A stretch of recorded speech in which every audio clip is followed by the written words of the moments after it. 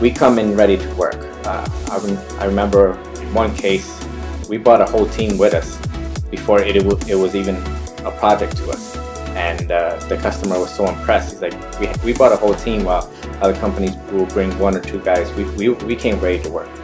Sometimes the customer has the data that you need. Sometimes they don't have any of it.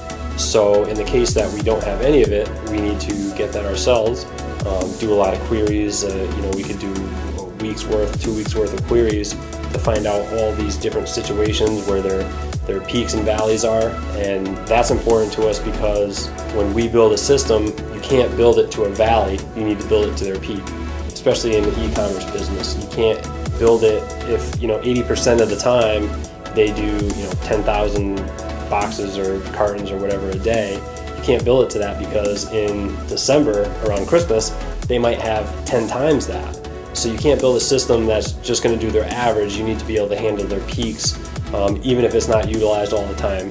So um, in that kind of business, it's very important to do the data mining. Uh, get down in the granularity of how they actually do business because uh, one business to the next does not do things the same way. So it's really important to get you know the basics of all right, we're doing a retail operation for apparel, let's say, but then the, the specifics of how do you run your business.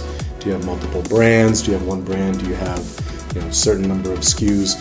Uh, we spend a lot of time asking questions and really digging into the detail early on and that sort of information because without my knowledge of how your business runs, I can't design something for you that will allow your business to run most efficiently.